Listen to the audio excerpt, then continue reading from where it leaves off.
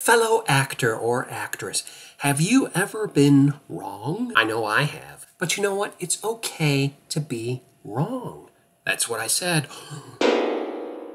Okay to be wrong. Do you know why? Because, and let me quote this for you Be willing to be wrong. Be willing to be wrong just to find out that you might be right. I have more to tell you, so stay tuned. Wrong is okay, especially in the acting industry. Let me ask you a question. Was Jack Torrance wrong when he tried to hurt his family? Did Joe Pesci make a mistake when he grabbed onto the doorknob? Was Michelle Pfeiffer mistaken when she trusted her husband in What Lies Beneath? Or how about Dorothy?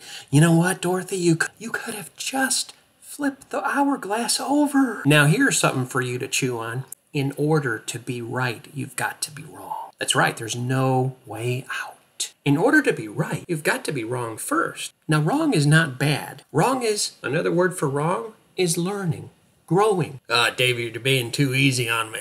You're being too easy on yourself. And why is that a problem? Well, David, you know what they say, you gotta suck it up. You gotta just push forward and grind the grindstone with your nose. You can't be too careful now. What will people think? Well, honestly, I don't know. And neither do you. Why do you think you have to rehearse before a play, before a film? Why? Why do you think you have to make mistakes before you get something accurate? The greatest people in history have been wrong. Thomas Edison. Tom, why don't you just use a. Why don't you just use the candle?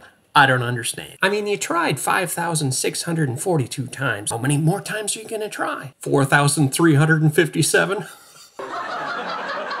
That's right, he tried 9,999 times, getting it wrong before he got it right. Then, light bulb. Now, let me ask you something, and I want you to be totally and absolutely 100% honest with me and with you. Have you ever made a mistake on stage? Have you ever skipped a line? Have you ever embarrassed yourself terribly in front of a camera or a live audience? I have many, many times. I remember this one time when I played when I played a psychopath. And in Act Two, I flubbed a line.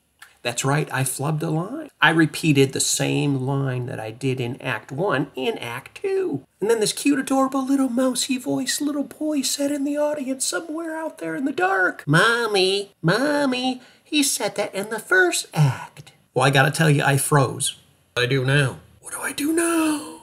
Maintain my focus. And my network of people on stage, the other actors, supported me in it, and we laughed it off later. What did I learn? Mistakes are just learning. So let me tell you, if you're so paralyzed with fear right now that you're going to make a mistake even before you try something new, especially in the field of acting or relationships or asking someone out, the list goes on, you're never going to achieve or create the life that you really desire. Are you saying, David, you gotta break some eggs in order to eat them? Now you got it because I don't like to eat eggshells, do you? So I want you to remember a couple of quotes. They're not my quotes, but hey, I learn, you learn, we grow, and we become something every single day. Be willing to be wrong just to find out if you might be right.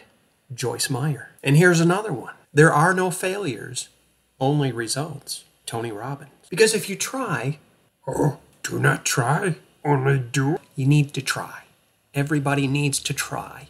Because if you try, you can't fail. You'll get a result that you want, or maybe not. But then you'll learn and you'll grow. Sort of like taking, sort of like walking upstairs, and eventually you get to your destination. Of course, it is a journey, so there's more steps to go.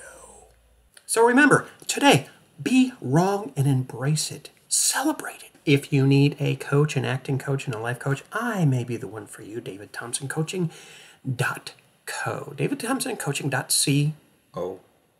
Write to me, subscribe, like, and share. I love you guys, and I'm there for you. And don't forget, make mistakes. It can actually be fun.